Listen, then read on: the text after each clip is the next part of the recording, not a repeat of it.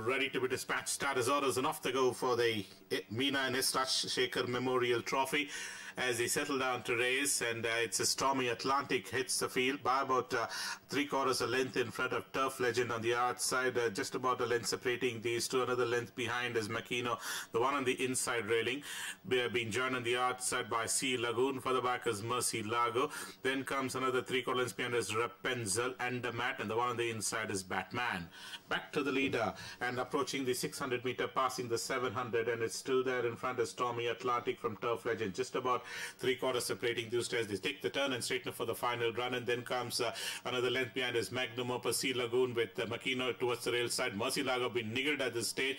The back is the other runners of Rapunzel and uh, on the far side comes the next uh, is the other runners. But it's still Stormy Atlantic has at lead about two and a half in front and the one which is warming up on the outside is Turf Legend. Even more wide on the outside is Magnum Opus. But Stormy Atlantic has now kicked away almost two in front. Magnum Opus, Turf Legend, Mercy Lago as they're approaching the final uh, 50 meters and it's uh, still Stormy Atlantic from Turf Legend. Turf Legend is the one which has won it from Stormy Atlantic. That's the one and two. They have been followed by the other runners.